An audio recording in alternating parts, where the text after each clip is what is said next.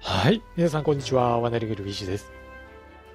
では、今回は、オーダーオブバトルパシフィック続きをプレイしていきたいと思います。前回はですね、ハワイ方面に進出して、いわゆる真珠湾奇襲攻撃を成功させた日本軍なんですが、今回はですね、南方作戦の一環の内容になりそうです。画面下の方にシナリオ出ていますので、こちらの方をやっていきたいと思います。ルソンのフィリピンですね。フィリピンは西の植民地軍に対する我々の戦争における最初の主要な目標です。この合衆国の保護領にかなりの軍事部隊があり、大日本帝国近くに存在させておくわけにはいきませんという内容になっています。当初、真珠湾の攻撃を仕掛けた日本軍なんですが、アメリカ軍の方は、ハワイに攻撃を仕掛けてくるよりも、このフィリピンの方に攻勢を仕掛けてくるんじゃないかというふうに思っていたらしく、まあ、ハワイの方はね、警戒が比較的薄かったがために、まあ、真珠湾の攻撃が成功したという一因にもなっているそうですというところですね。で、えっと、一応ですね、今今持ち越せるのは、雷装か魚雷を積んだ97式の観光だけうんで、得意かっていうのが、まあ、いわゆる、ハーツ・オブ・アイアンとかでいう技術ツリーですね。で、これもちょっと文字化けしちゃってて何ができるのかよくわからないんですが、今すぐできるものって実はあんまりなさそうなんですよ。わかるもので言うと、このウルフパック、えー、太平洋テリトリー、まあ、つまり日本軍の戦域にドイツの U ボート2隻が派遣されてくるっていうのが、えー、まあ一つ。で、42年になるとまだ時代が進んでいないので、そもそもこの42年の東京エクスプレスとスーパー戦車、航空力学の発展は選べないんですが、まあ、それぞれね、内容としては、東京エクスプレスであれば、駆逐艦と潜水艦とを輸送船の代用が可能になるよっていうような内容。で、スーパー戦車に関しては、発展型の戦車が運用可能になりますと。で、航空力学に関しては、まあ、近い将来、より先進的な航空機が使えるようになりますということなんですが、今使えるこのウルフパックが唯一使えるものなんですけど、このウルフパックを使うとコストが今7しか持ってないうちの7全てを使っちゃうので、一旦ここはね、今ある戦力だけで戦っていきましょう。では、進めていきます。前回は、まあ、いわゆる海軍主導の作戦だったと思うんですが、今回はね、まあ、南方作戦ってなると、陸、海、空、すべての軍をね、効率的に運用していかないと、おそらくフィリピンは落とせないんじゃないかなと思いますんで、しっかり、ちょっと頭を使いながらプレーの方していきたいと思います。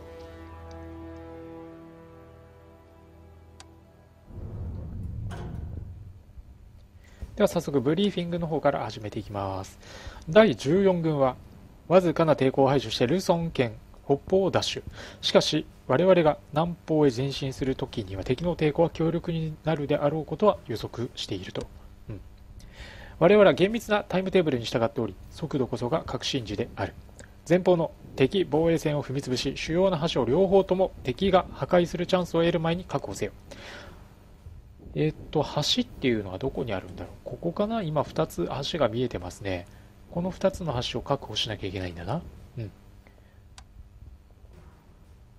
我が軍の前進は南東からマリマニラに向かっている軍と協調した攻撃作戦の一部。攻撃路の途上にある全ての、えー、主だった VP、主 VP を占領し、機関の補給線と通信線を確保すると。フィリピンにある唯一の主要なアメリカの航空基地はクラーク飛行場である。うん、クラーク飛行場がどこにあるかだな。ここですね。画面の左下、今見えてます。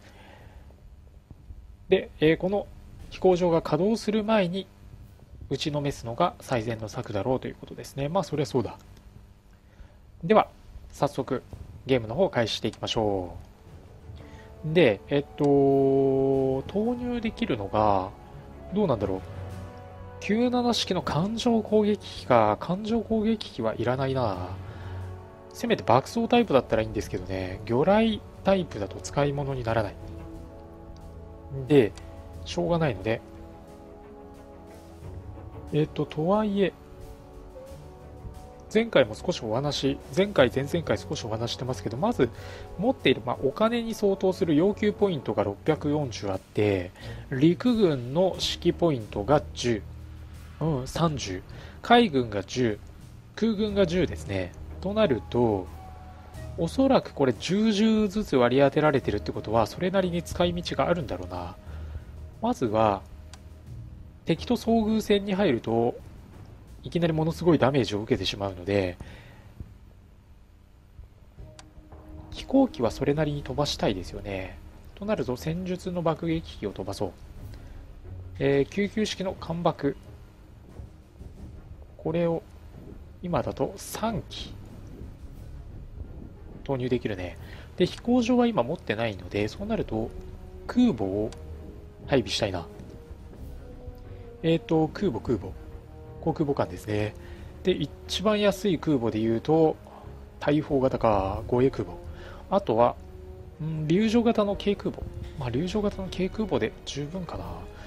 この軽空母だとどうなんでしょう。どこまで搭載できるかだな。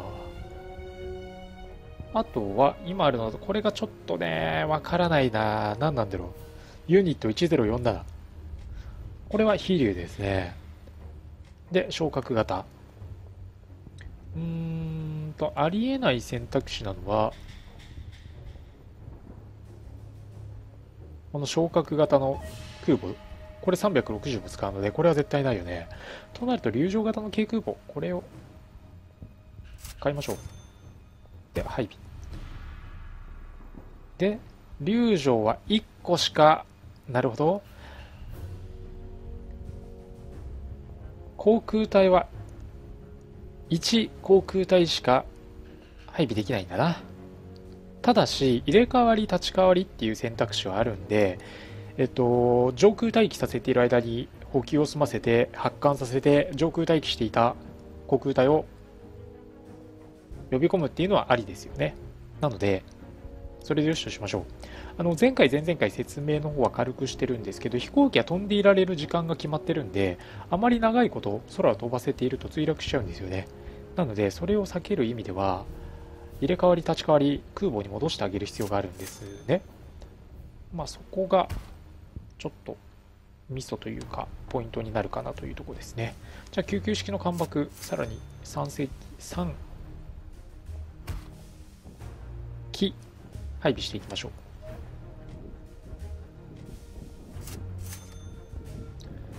まあ、やっぱりね、上空から敵の位置を偵察に入れるっていうのは非常に重要ですからね。で、パイロット、松木三郎も配備したので、これでよしでしょで、あとは、肝心の陸軍。うーん、160しかなくなってるな。結構痛いな。あんまり考えずに、やっちゃったけど。そうすると、戦車だな。えー、っと、配備できる戦車は、救難式の中戦車。これがちょっとわからないですね。何戦車なのか。ただコスト面ではそんなに引きは取らないので、救難式の中戦車。これを。いやー、それだったらこの、ユニット544、これを2個配備する方がなんか賢明な気がするな。確かに強力ですけど数も重要なので、ちょっとここは2個配備できるっていう方を選びましょう。じゃあこれで全ての要求ポイントを満たしましたので、プレイの方を始めていきます。で、全ての主 VP を占領するっていうのが主目標。で、副次目標は35ターン以内に任務完了。12ターン以内にクラーク飛行場を破壊。10ターン以内に両方の主要強砲を占領。いや、ちょっと待ってね。そうなるとますますわからないよな。あここに敵の部隊がいるねとかっていうのが飛行機を飛ばさないとわからないんですよね結局さあでは安心して進めていけるかな？いやちょっと怖いな。ちょっとずつ新聞しようやっぱり。やっぱりいるよこれが嫌なんですよね。いるっていうのが。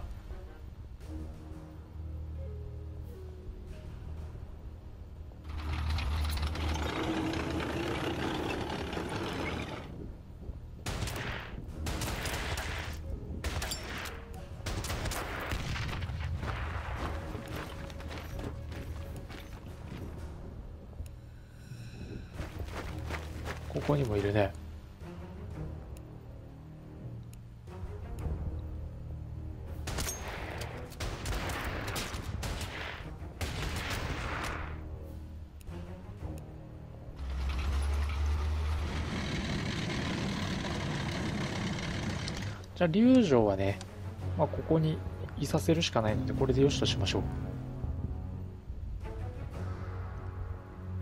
ガシガシポイントをね稼いでいかなきゃいけないですからね。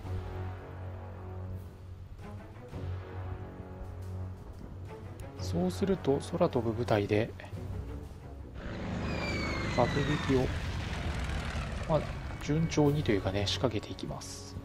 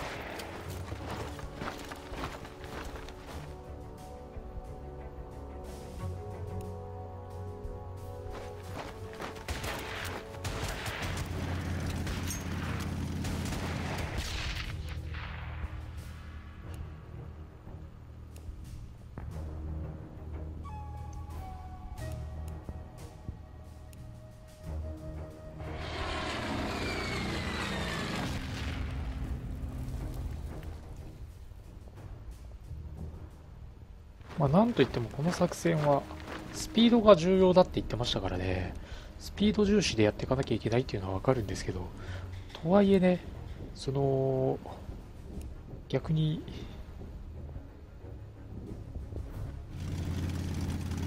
スピードを重視するがあまり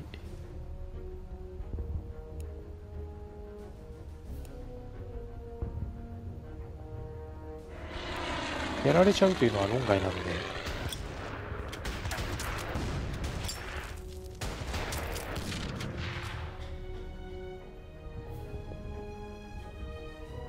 バランスを取りながらって感じにはなっちゃうとは思うんですよね。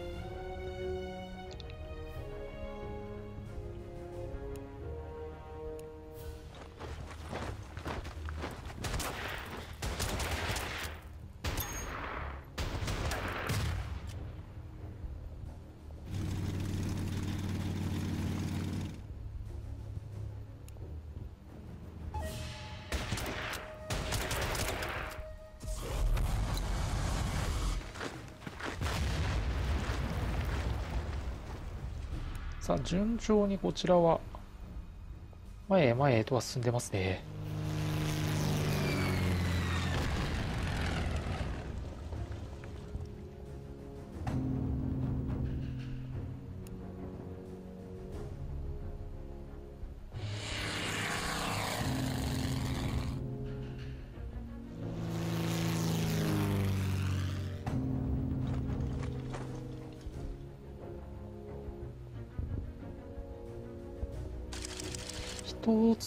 と取り逃したかな？で、マニラが開場しているアメリカ軍はマニラの首都、フィリピンの、うん、マニラ、フィリピンの首都を放棄、無血解除を決断と。うん、いいね。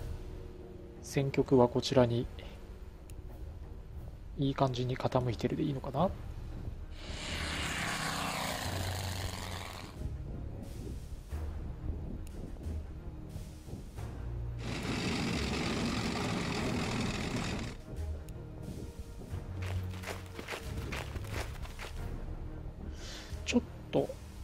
面の左側の方が少し敵を取り逃しながら進んじゃってる感じがあるな。もうちょっと機敏に進んでいかないと。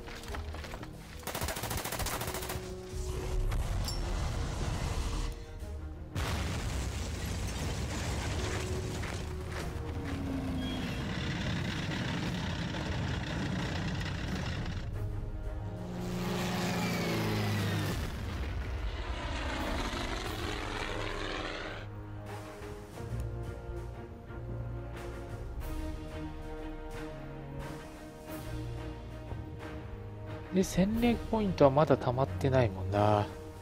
45しか溜まってない。要求ポイントか。なのでちょっとこれは一旦進めるしかないね。で逆になんかものすごい勢いでアメリカ軍に取られてるな。これアメリカ軍殲滅しとかなかったのが良くなかったな。ちょっと迎え撃ちましょう。っていう遠回りをする羽目になったな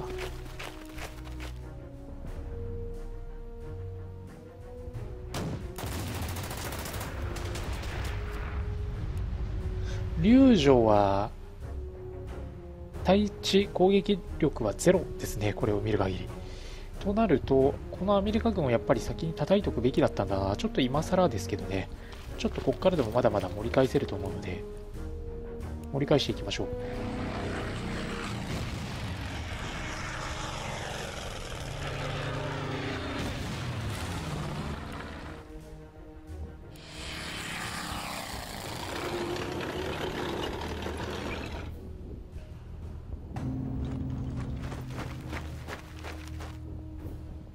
か、アメリカ軍にここの基地も奪われたな。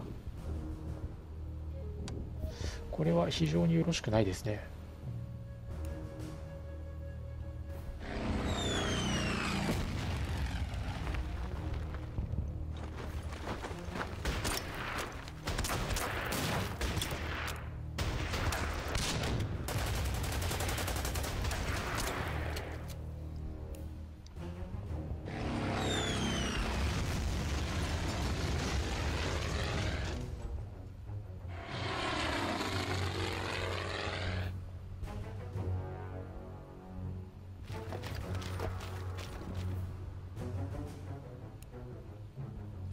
どうする？ここにいるアメリカ軍を叩けるのかって話だな。じゃあこっちは回収に戻りましょう。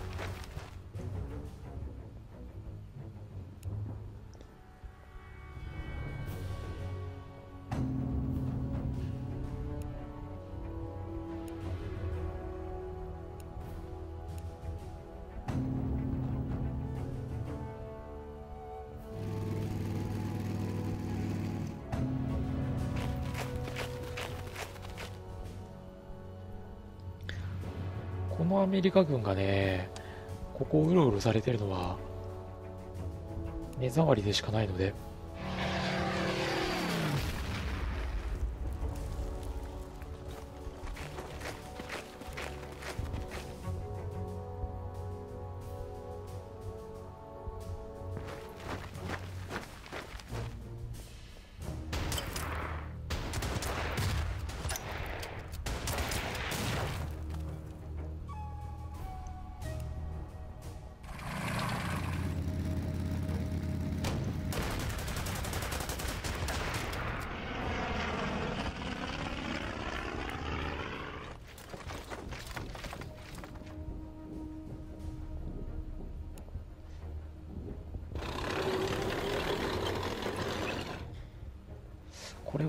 調と言っていいのかどうかなんかちょっと微妙な状況だな。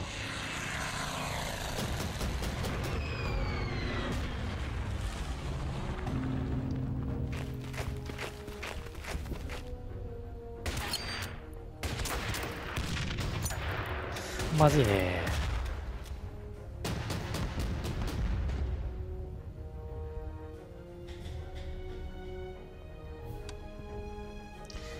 のアメリカ軍の動きが想定外というか、思ったより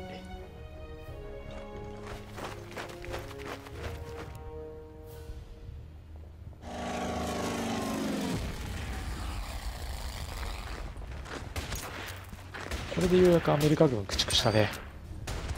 アメリカ軍を撃破した。だいぶ時間かかっちゃいましたけど。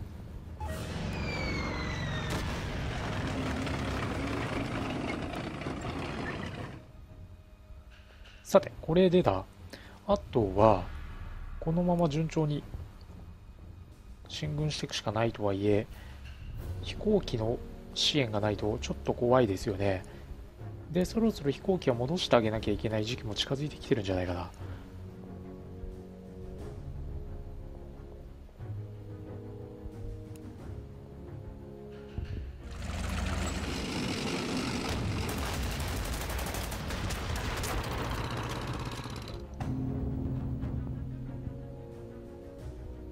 6ターン生きていられるんだな6ターン。ってことはんもう12回爆撃だけ仕掛ける？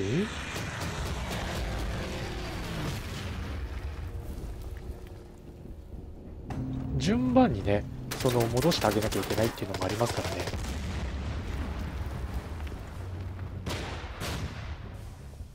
ああ戦車がだいぶバーンやられたね。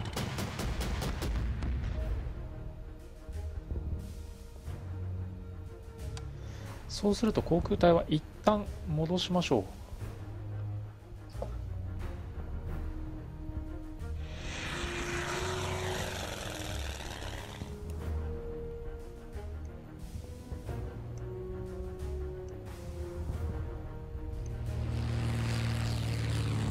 順々にね戻していってあげましょうね。一気に戻っても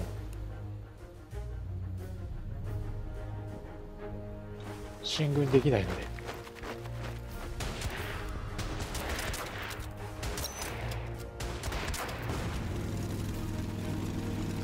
さあだいぶ削られたなただ味方の方も。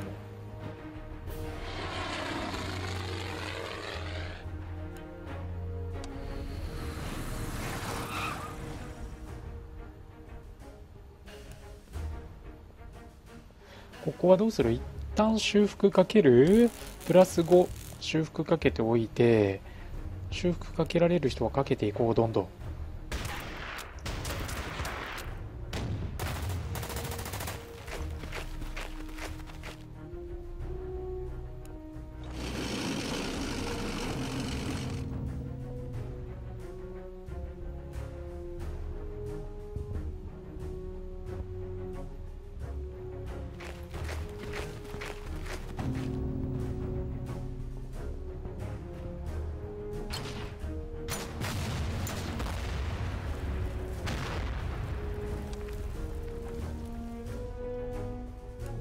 たらさっき収容した航空機を発艦させて逆に一機を戻すっていうねこういう運用ですね。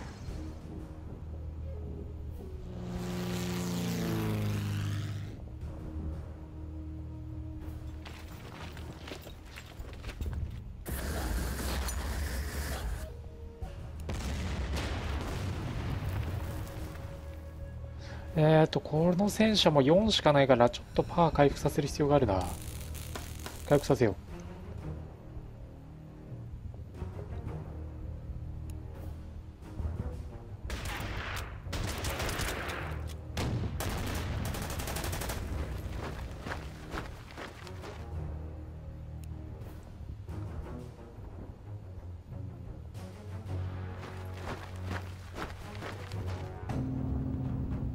次のターンはそしたら戦車をちょっと買いますか。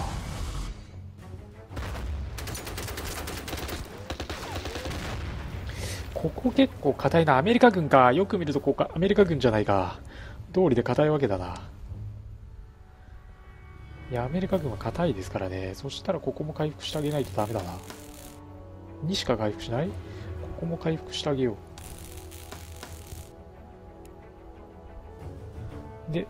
行機の支援をしてあげたいんで、飛ばしましょう。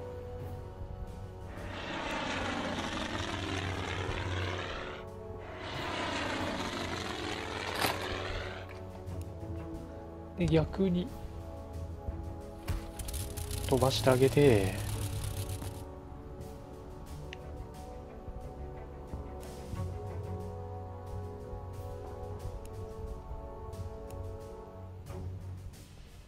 構時間がかかるんで35ターン以内にクリアはどうなんだろう。いろんな条件がマッチしないと難しいかもしれないですね。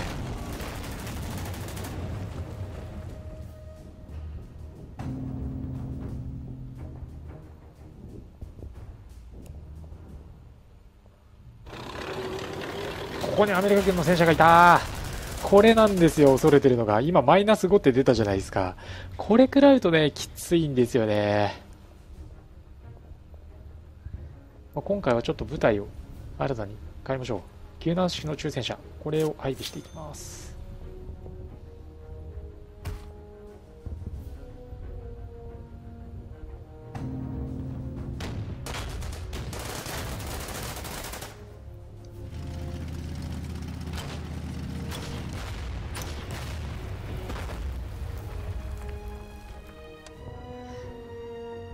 さて、そしたら、発艦した飛行機は、飛ばします。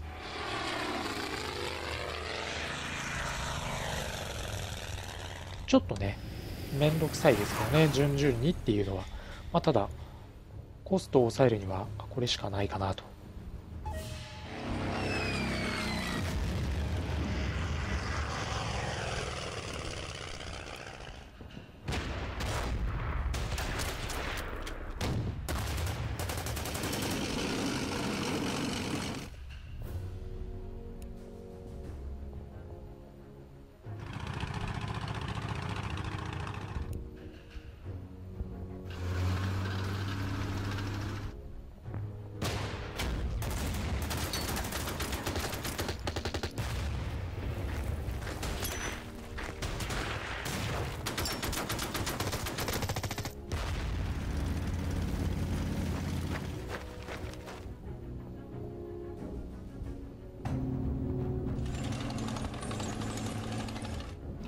あアメリカ軍の戦車が追撃してきてるね。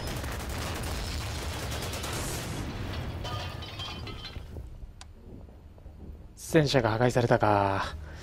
うんなかなかきついね。ここで戦車が破壊。そうなると部隊をもう1個投入しないといけないな。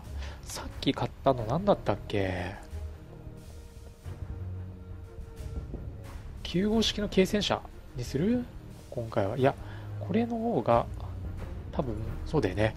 えっと、破壊されたユニットの復活をする場合は30%経験値が保持されるって話なんで、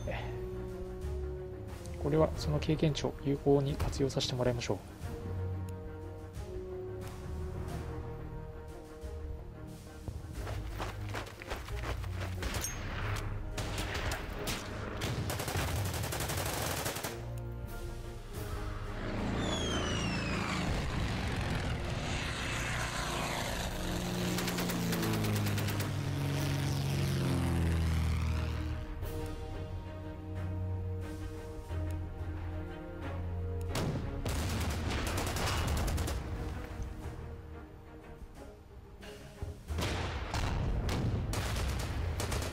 れで迫撃砲も。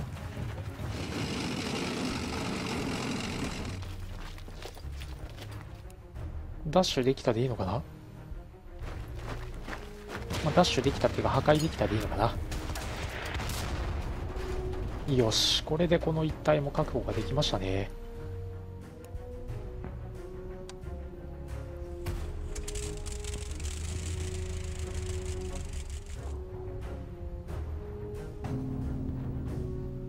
なかどうしてね。やっぱりアメリカ軍は強いな。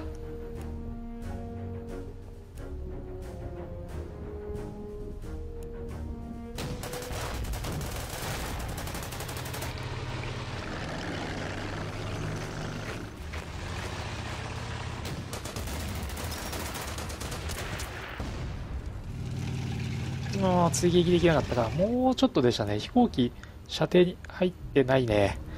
飛行機のね、射程に入ってれば、そこで、飛行機が最後爆撃で決めるっていうのもありかなと思ったんですけど、さすがにそうはいかないか。で、次アメリカ軍の根拠地がここにありますね。このアメリカ軍も硬そうだな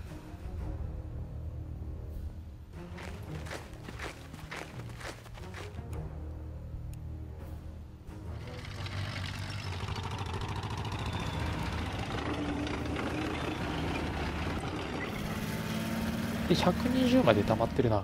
120まで溜まってきたら、もう1部隊配備できるかな。アメリカ軍強力なんでね、できるだけ配備できるものは配備していきたいので、えっ、ー、と、じゃあ9号式の戦車配備していきましょう。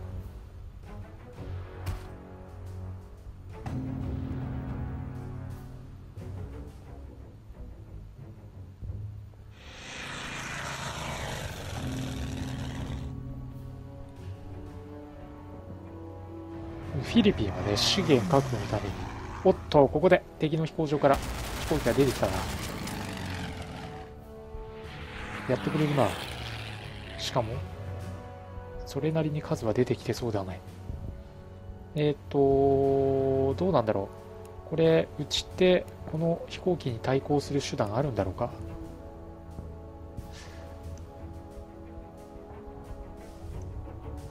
なんかなさそうな気がするんだけど。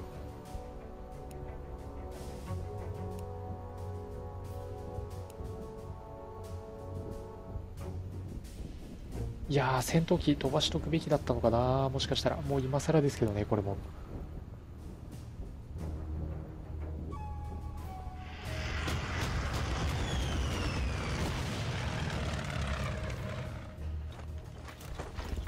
破壊されてるしね、ここ、ここだな。破壊される前に都会しとかなきゃいけなかったんだよっていうのはここですね。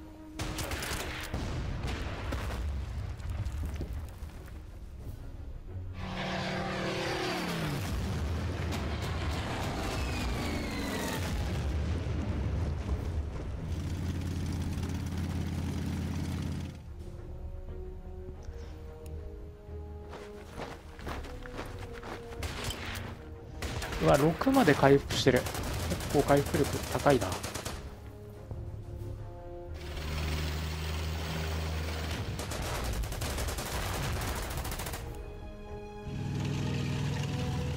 れで完全に破壊しきりましょう。まあ戦車2部隊出すとだいぶ楽になりますね。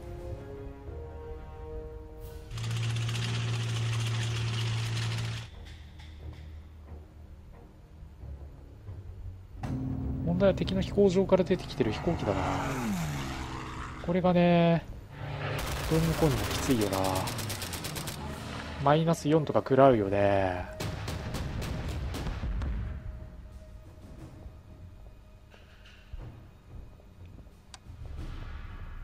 かといって航空式ポイントはもう1しかないからどうにもならないしね。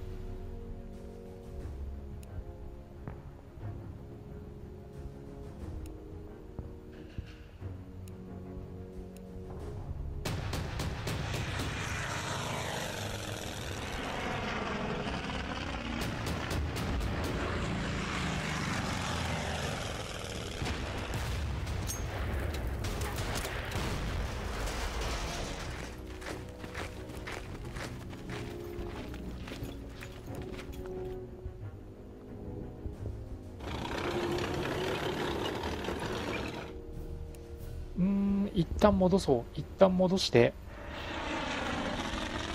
逃げましょう。龍城に戻ってそこで確保しましょう。ここも破壊されてるね。ここまで急いでこなきゃいけなかったんだな。まあ、とはいえなかなか厳しいよね。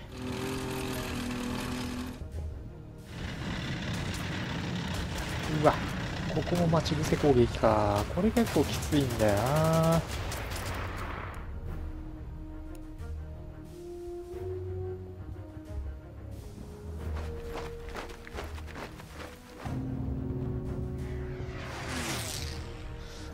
も敵の飛行機が飛んでくるよね。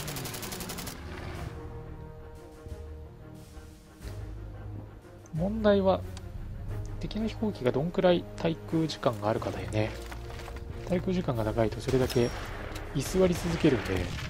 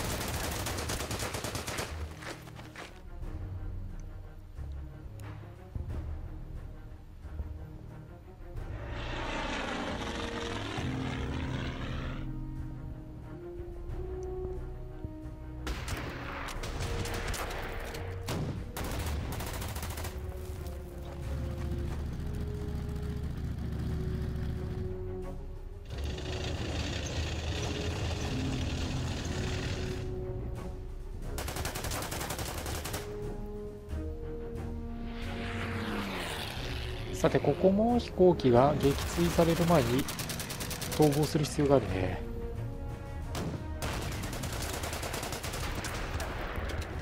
うわー2食らうかなかなかしんどいな2は。じゃあ3食らったこの救急式の間爆は戻しましょう。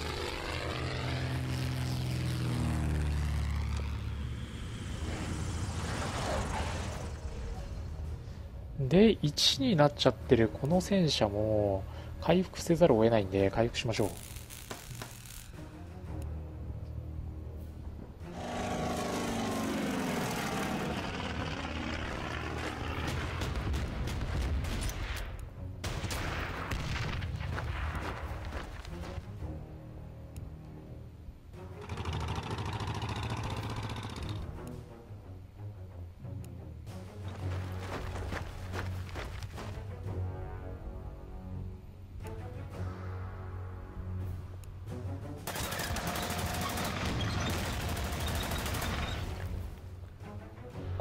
橋を渡るのに結構手こずる感じですね。橋が壊されちゃってると。橋が残ってればきっとね橋のところでも割とスムーズに攻撃ができちゃったりするのかなと思うんですけど。ここも戦車が集中攻撃受けてるね。そうするとどうする？今よまだ6残ってるよね。となると攻撃を仕掛けてみる？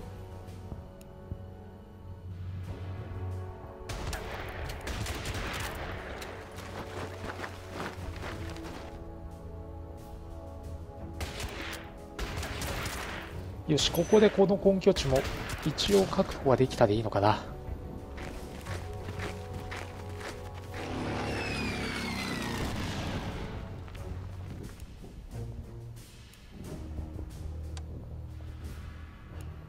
そうか、ダメージは回復しないのか。飛行機の飛んでいられるターン数は回復するものの、これを見る限り、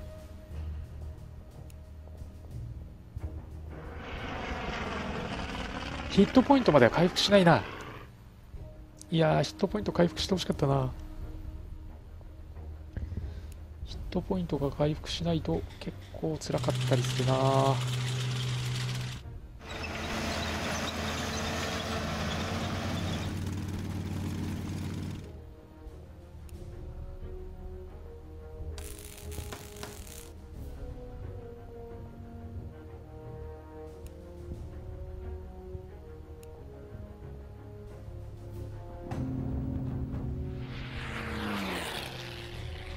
が帰っていきましたね、1回は。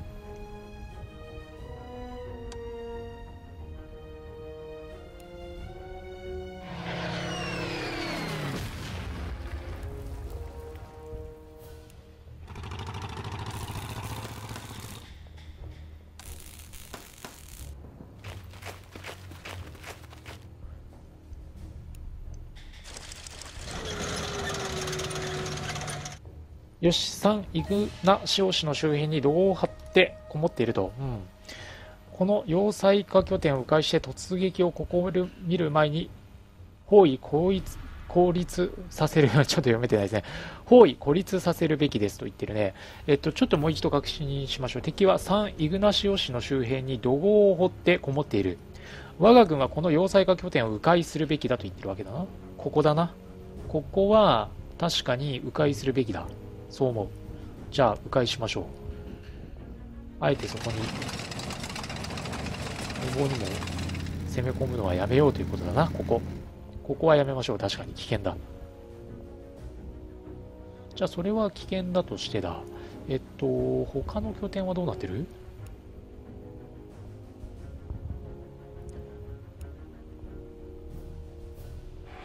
飛行機がね、結構危ないんだよな。敵の飛行機から攻撃を受けて4とか減ってきますからねさっきの感じだと。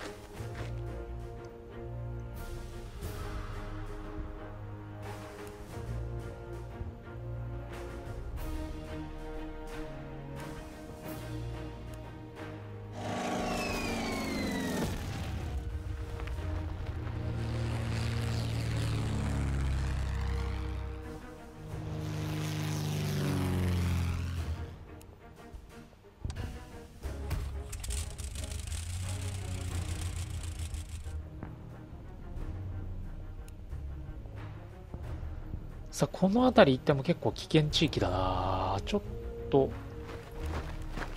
それこそ歩調を合わせて進軍していった方がいいかな。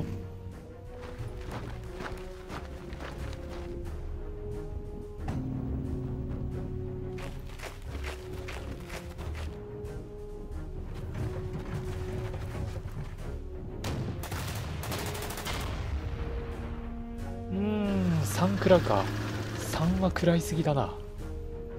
この辺りは侵入したことによって敵が進軍してきてる感じがあるな。結構食らうもんね。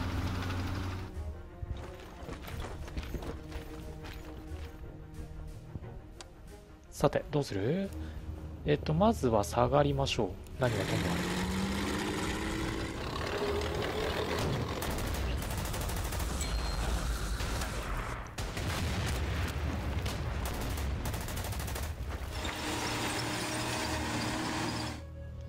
でだ。その上でえっとまずはここを破壊しちゃおう。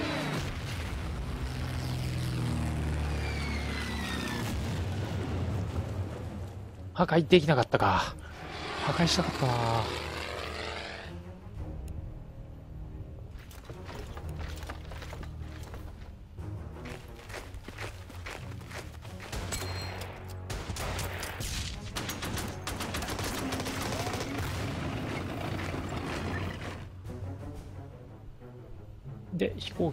します。そろそろね、敵の戦闘機がまた飛んでくんじゃないかなとは思うんですよね。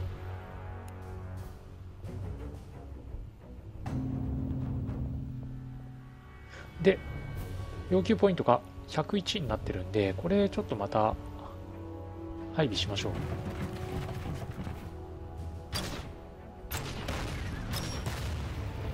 結構ここも硬そうだなえっと、まずはじゃあ要求ポイントを使って、えー、95式の軽戦車。いやー、97式の中戦車だな。これを配備。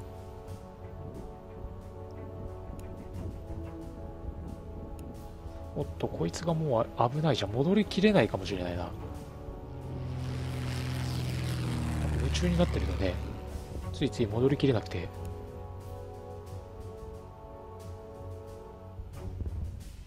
いやここは破壊したいなんとか破壊してくれよし破壊したまあ多少のラッキー要素もあったかなっていう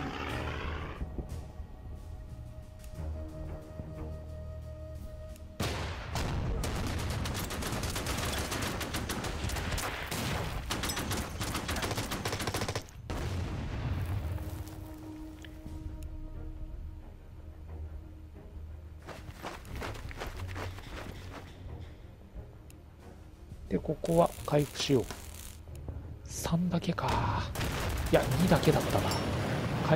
だけって結構きついな。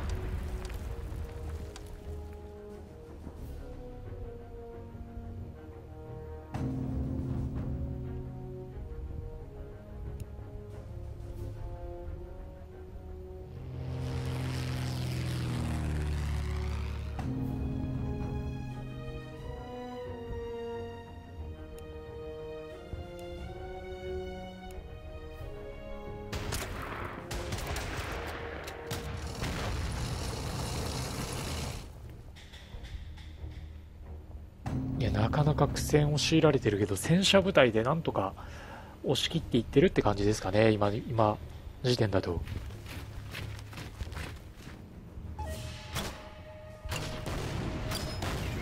いやどこで何が起きてるか全然わかんないし。ここだな。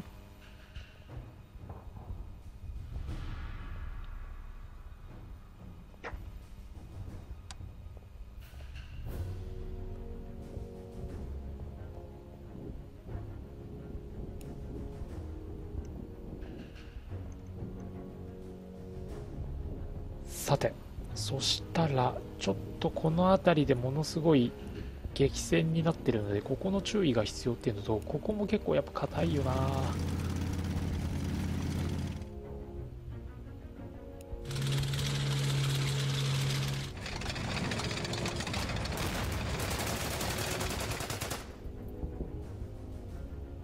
慎重に慎重に進んでいかないとねちょっと怖いですよねやっぱ。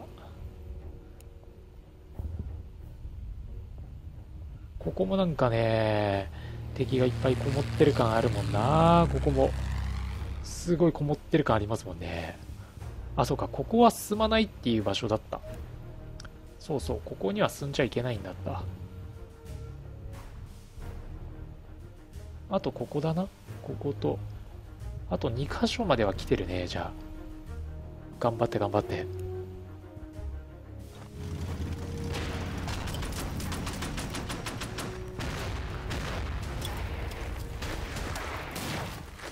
よし、この一帯も占領できたな。ちょっと時間はかかっちゃいましたけど。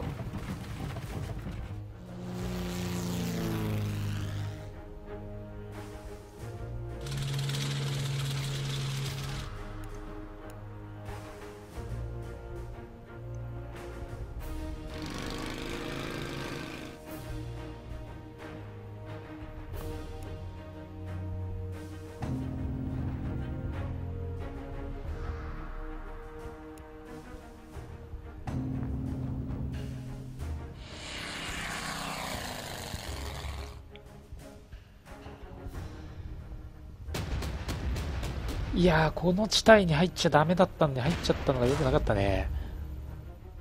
残ってくれればいいんだけど。変に刺激した感じがあるな。彼ら。だー、来たー。撃ち落とされなきゃいいけど。残ってくれたねー。なんとか残ってくれた。これはもう逃亡の一手あるのみだな。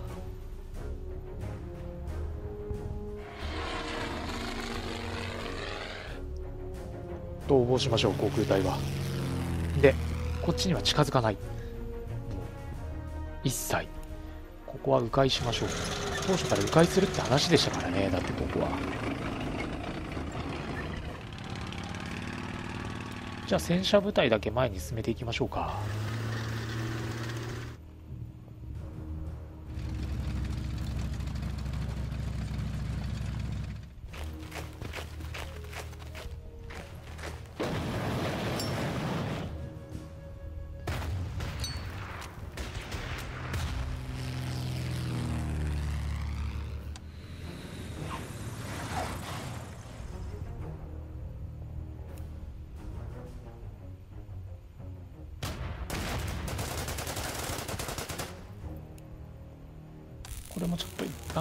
しといた方がいいな。いや、なかなかしんどい戦いが続きますね。はい。というところで、ちょっと時間が経ちましたので、えー、南方作戦、フィリピン・マニラ攻略前編ということで、一旦ここで終わりにして、えー、次回はこの続きをプレイしていきたいと思いますので、引き続き応援のほどよろしくお願いいたします。はい。というわけで、えー、最後までご視聴ありがとうございました。ぜひ、チャンネルの登録、あとはですね、ツイッターの方で動画の収録状況と、あとは配信状況、まあ、その他もろもろ情報を発信しておりますので、え興味のある方はぜひ Twitter の方もフォローしていただければあ嬉しいなというふうに思います。